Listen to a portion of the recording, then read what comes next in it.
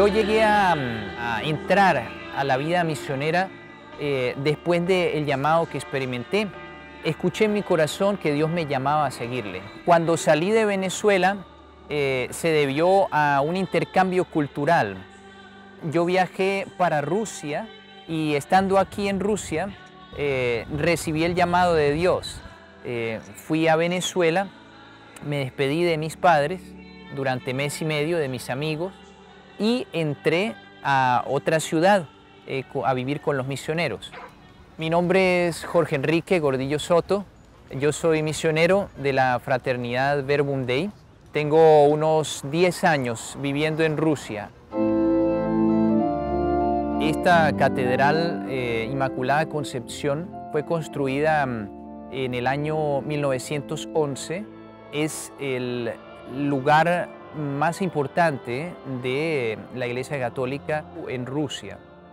Nosotros, Verbum Dei, eh, tenemos la responsabilidad de cuidar en la fe a todas las personas de habla hispana y portuguesa eh, que tienen la fe católica y por eso ellos vienen aquí a la misa y es como el centro en donde nos encontramos con todos ellos.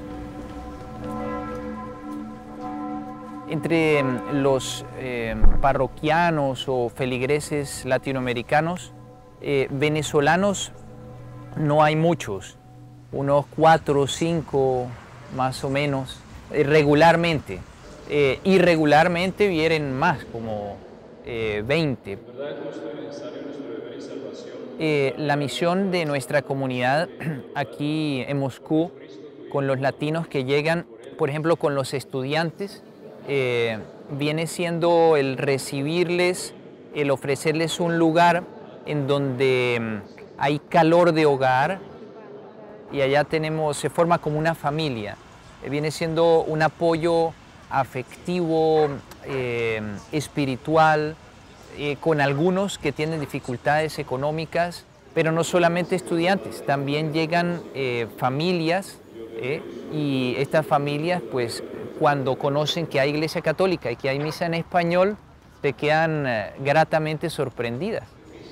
Y es la acogida, el, eh, que sepan que hay unos pastores eh, con los brazos abiertos para ellos.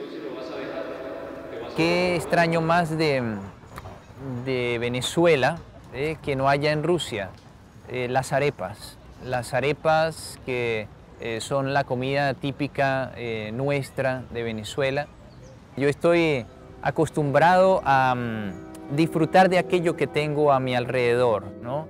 Eh, tengo nieve, disfruto de la nieve. Eh, incluso barro, disfruto del barro. Mi primera eh, impresión con la nieve fue como estar sobre una nube. En Venezuela ya la veía en las montañas, pero verla aquí en vivo fue una alegría muy grande el futuro eh, lo veo, eh, digamos, aquí en Rusia, eh, la comunidad está creciendo, pero en lo personal, en un futuro más o menos cercano, vendría yo a ir donde mis padres, porque ya tienen pues unos años y necesitan pues mi ayuda como su hijo. Lo más importante en mi vida es, es estar enamorado, estar enamorado de aquel que me llamó,